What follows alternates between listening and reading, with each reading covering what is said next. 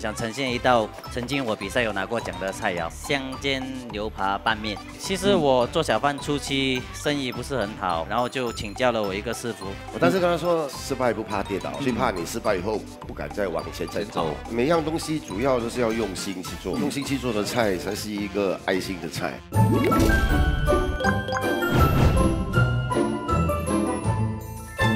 好，来创意料理的环节，准备好了没有？准备好了。在你的旁边有很多很多的食材，任你挑选，可以，好不好？来。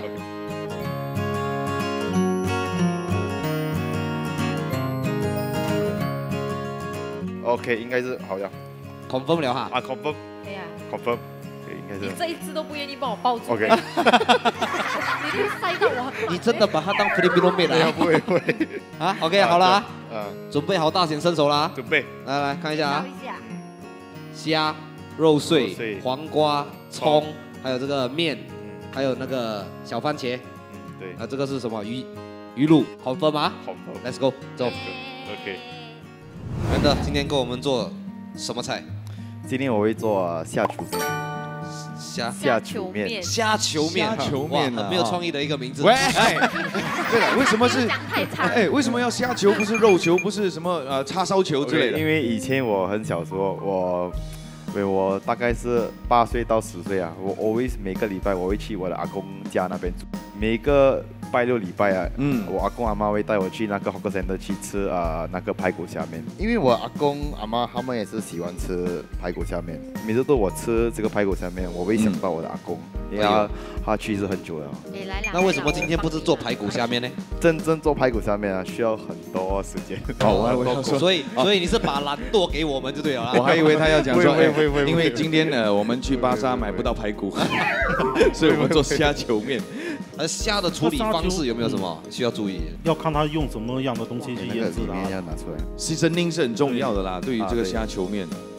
啊，就要去 mix 到一个杯塞的哦，你就要把它全部弄成泥哦，然后把它的里面的东西处理掉。而且你看它就是要这样子，就手工的把这个这个虾给弄成一坨这样子。旁边那位帮手，他是在帮那只虾做 pedicure manicure 吗？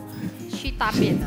Randa，嗯，你在就是啊、呃、经营小贩这这这几年嘛，有没有你最低潮的时候？有时候有啊，有时候有。有时候有，有时候有，有时候，有时候，什么时候有，什么时候没有？你跟我讲。那个时候我有发现我有一个病啊。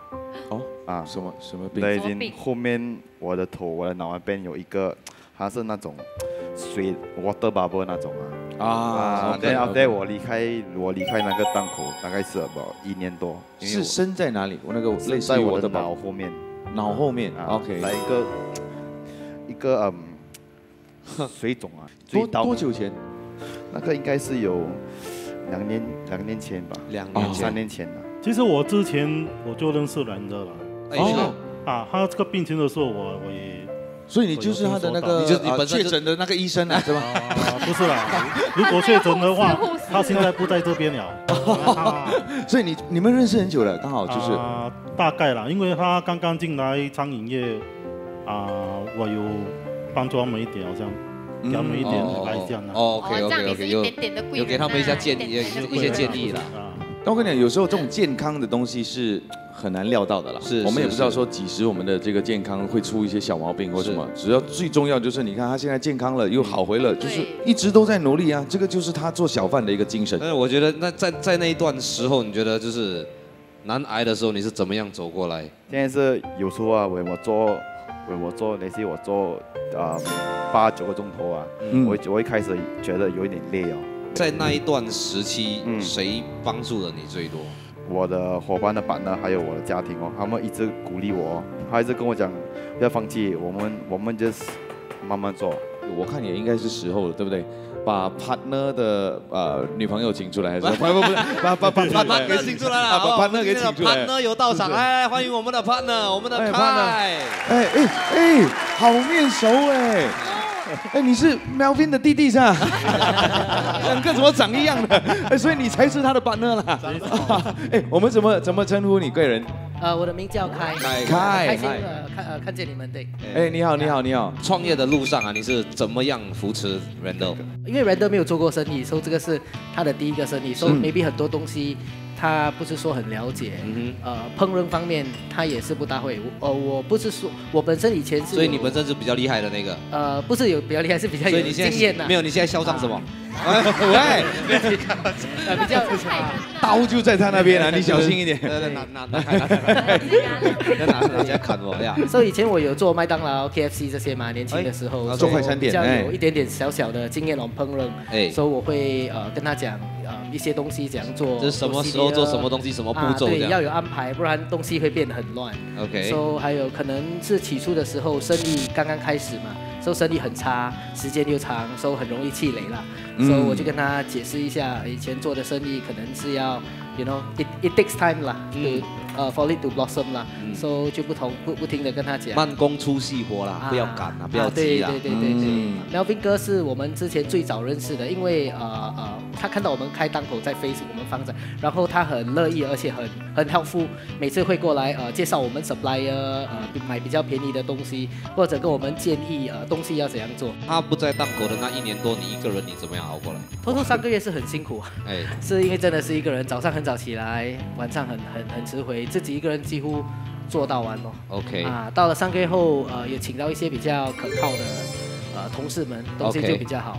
也有拍一些 video 给他看啊，东西进行的很好。哇，让他啊，给他放心的去疗养了。那个那那个也是那个也是他要快点好起来的一个动力，这样子啦。那你从以前就是跟他一起干夜店到现在，对，他有什么样的成长？